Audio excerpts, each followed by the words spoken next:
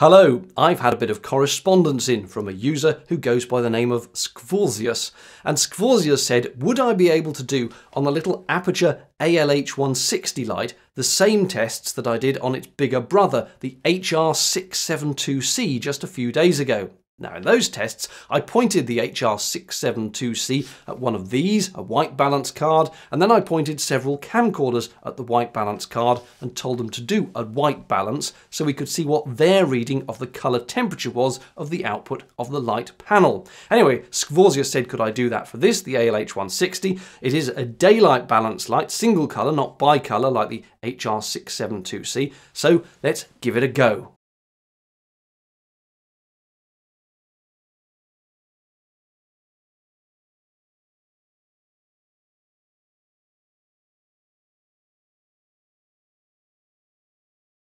So that's the light in its naked, unadorned state, but it does come supplied with this, a tungsten-esque filter designed to convert the light to a more orangey sort of shade to work better with tungsten lights. But what colour temperature is it? Well, let's find out.